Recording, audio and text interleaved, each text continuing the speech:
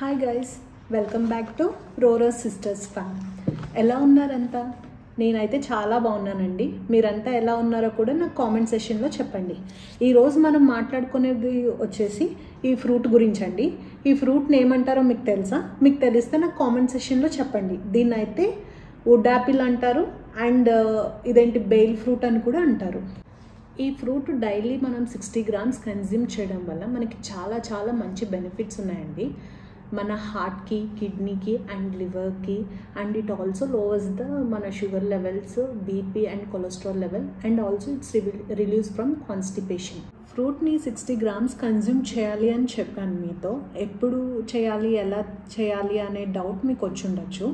ఇది వచ్చేసి morning and evening thirty thirty grams తీసుకోవచ్చు. లేదంటే ఒకేసారి ఈవినింగ్ మీరు సిక్స్టీ గ్రామ్స్ తీసుకోవచ్చు.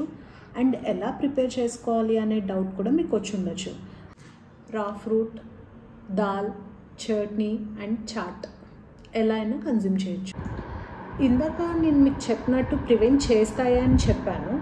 అసలు ఈ ఫ్రూట్లో అంత ప్రివెంట్ చేసే ప్రాపర్టీస్ ఏమున్నాయని మీకు డౌట్ రావచ్చు. దీంట్లో వచ్చేసి యాంటీ ఆక్సిడెంట్స్ ఉన్నాయి యాంటీ ఇన్ఫ్లమేటరీ ఉన్నాయి and antimicrobial boosting immunity and laxative properties ఉన్నాయి. Nutrients like calcium iron fibre protein ఇవన్నీ కూడా ఉన్నాయి. ఇవే కాకుండా vitamin C and vitamin B one B two and thiamine and fibres and good fats ఇవన్నీ కూడా ఉన్నాయి.